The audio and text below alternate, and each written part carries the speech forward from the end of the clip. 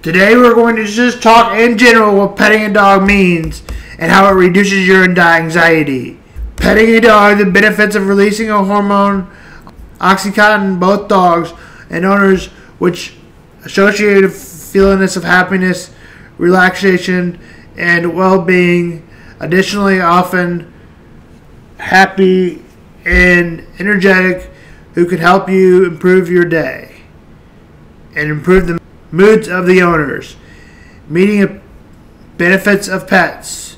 Meet most pets are clear about joys that come starting sharing with their companions live with their companion however many of us remain unaware of the physical and mental health that can be accompanied by a pet the pleasure of snuggling up to a furry friend it's only re- recently studies that have begun to scientifically explore the benefits of human animal bonds. Pets involved become accurately attuned to our behaviors, emotionals. Dogs, for example, are able to understand many of our words we use, but they are even better at interrupting tone, voices, body language, and gestures.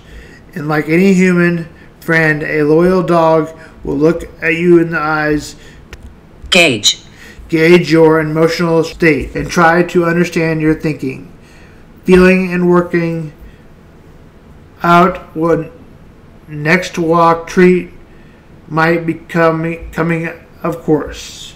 Pets, especially dogs and cats, reduce stress. Anxiety or depression eases loneliness. To encourage exercise, playfulness, improve your cardiovascular health.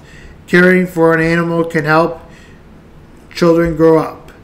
More secure and activity active pets also provide a valuable companionship for older adults. Perhaps most importantly through a pet can add real joy and unconditional love to your life. Any pet can improve your health. While it's true that people with pets often express great, greater health benefits, those who without pets necessarily have to be a dog or cat or rabbit could be, and ideally allergical other or have limited but still want furry friends. Birds can exchange, encourage social interaction, help you mind sharp. If you are an adult, snakes, lizards, and other reptiles can make you exotic. Exotic companies, companions, even watching fish in aquariums can help reduce tension and lower your pulse rate pets owners are less likely to suffer from depression than those who without pets. People with pets have, have lower blood pressure in stressful situations than those who without pets. One study even found that when people with borderline hypertension adopt dogs from a shelter, their blood pressure declines significantly within five months.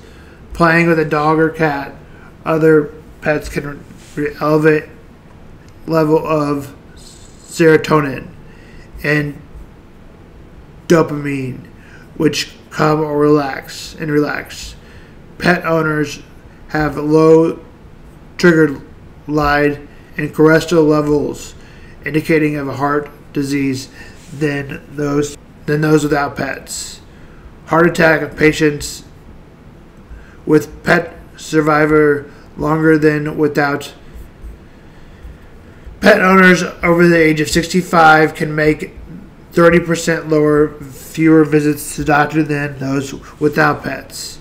And one of the reasons that therapeutic that pets fully basic human need, even criminals and those who person who change their lives, behaviors after exoting a pet, the mutual affection, first time stroking, hugging, otherwise touching a long life loving animal can rapidly can also ease the loneliness of a great stimulation for health exercise which can boost your mood ease your depression my dog bo is very comforting he loves all he likes when you itch his butt even though mom doesn't like it he loves it it gets hair all over the place, whether I care or not.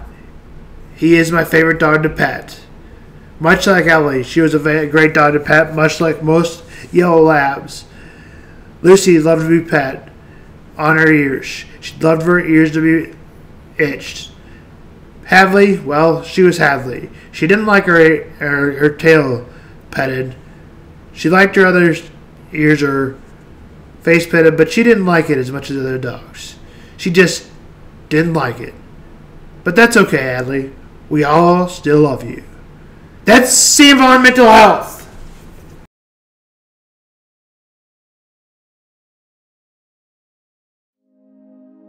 When stepping back and thinking about it, it is kind of odd that as the human species, we take possession of other types of species and call them our pets and it is even odder that it is accepted as normal across essentially all of humanity.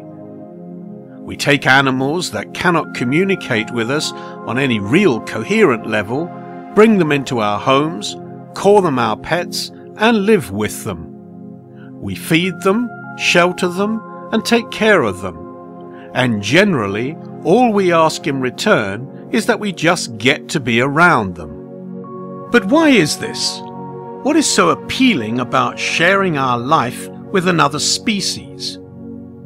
Outside of more practical reasons like assisting in hunting, gathering, and general tasks, one reason for assimilating pets is the human desire to have responsibility and control.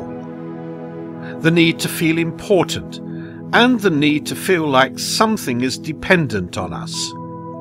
This feeling is empowering, and as humans, our central insecurities are partly satiated by the sense of superiority we experience when owning and domesticating another living being. On the surface, this might sound somewhat feeble and selfish of us humans, but the truth is, although this may be a motive, there is a much deeper and more sincere reason why we like owning and being around our pets. A reason that makes the relationship between human and animal companion a truly mutual, interdependent, and beautiful one that reveals a wonderful side of our nature.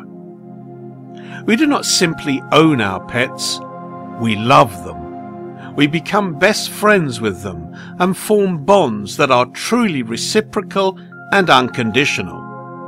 We give them access to consistent safety, health, comfort, and other logistical things that they might struggle to sustain.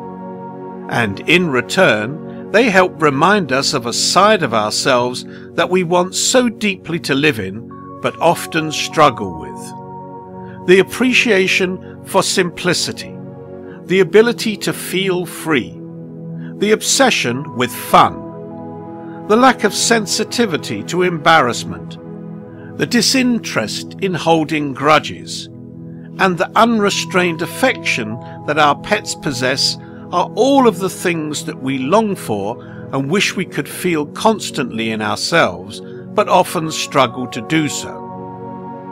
And our pets embody and remind us of the importance and possibility of these things. I would argue that the elements of our nature that our pets lack, like complex language, logical understanding, heightened self-awareness, etc., are all equally beautiful and essential to what makes the human experience so uniquely wonderful. But I would also argue that it can be very easy to become lost in this part of ourselves, the part that needs to understand and control everything